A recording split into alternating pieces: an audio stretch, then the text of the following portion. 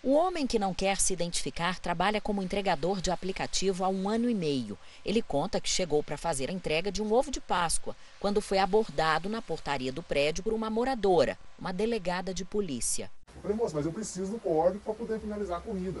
Isso é uma segurança para mim e para você. O que você quer que eu faça? O que você quer que eu faça? Eu falei, não, eu estou falando para você que eu preciso do código. Aí ela pegou o celular dela e levou próximo do rosto. Falou, tá aqui, ó. Aí eu vi o código lá.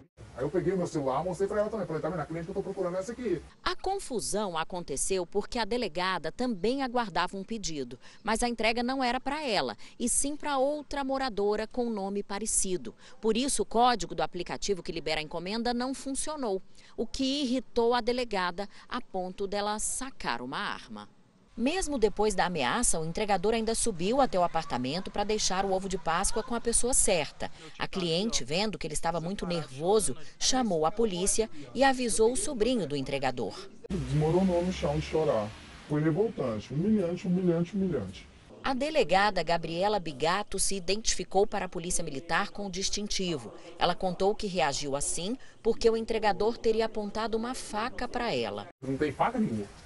Eu nem ando com faca. Os vizinhos do prédio se solidarizaram com o entregador. Como ele estava com muito medo, chorando, assim, bem abalado, eu resolvi chamar a polícia.